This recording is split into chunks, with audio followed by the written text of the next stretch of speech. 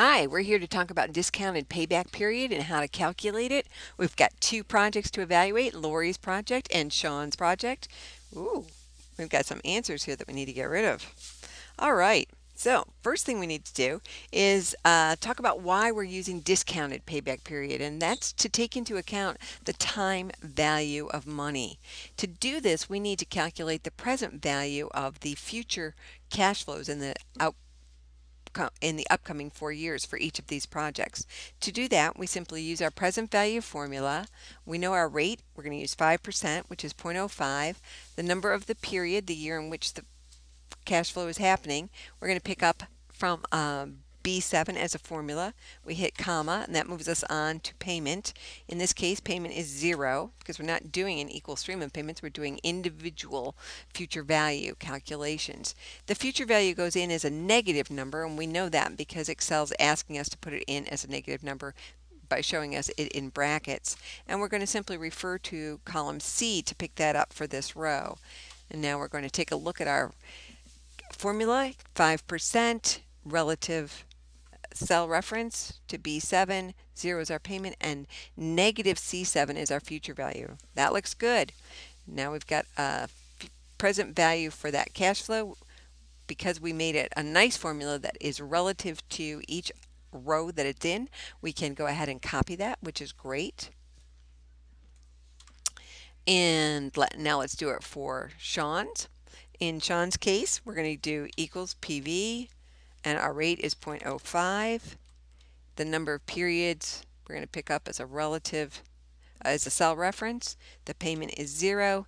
And again, our future value is going to go in as a negative number and as a cell reference. We're going to close our parenthesis, double take a moment to double check our formula. Looks good, hit return, and we're going to be able to copy that one down as well which is great. So now we know what the present value of the cash flows that we're going to get from each of these projects is. The next question is, should we go ahead with the project? Well, we in order to do payback period, we have to figure out how long it takes us to recover our money. In this case, we need to recover $60,000 for Lori's project and $84,000 for Sean's project. So for Lori's project, we're going to pick up that we we're recovering 60,000. We need 60,000 we're going to subtract the 24,000 that we got. We only have 35,000 left to recover. And so the number of the amount of time it took, I'm going to make a whole new column, takes, wrap that text. So it took that whole year's worth of cash flow. In this case, we're going to go up and we've got $35,000 to recover, we can subtract the $29,000 that we're getting in year two, and we've only got 5,000 left to recover, but we need to mark down that we used up all of that year's cash flow. Now, as you'll recall uh, from a video about the payback period, whenever we get to an amount left to recover that is less than the amount that's coming in in the next cash flow year, we simply take the number that we need to recover and divide it by the amount that's coming in and that will give us the percent or, or, the fraction of the year that we need of cash flow of discounted cash flow. And why it came out as a dollar sign one never knows but we'll fix that. And now we know that it's going to take auto sum that it's going to take 2.279205 years 2.28 years get rid of a few decimal points and make it look right. So it's going to be 2.28 years for us to recover the investment on Lori's project. If the cutoff period is three years, it's a go. We're going to go ahead and do the project because 2.28 is less than three.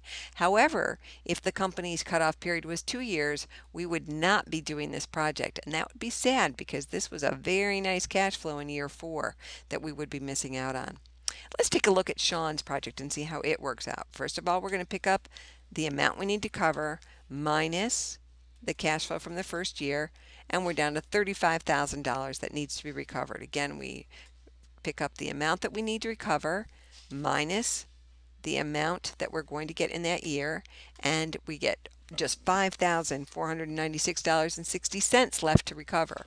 It, that is less than the amount of time amount of money discounted that we're going to get in year three so let's go ahead and keep a tally of how many years we used we used all of year one we used all of year two and here we're going to take the amount that we need to recover divided by the amount that's coming in, the present value of the amount that's coming in in year three, hit return, and that's 35.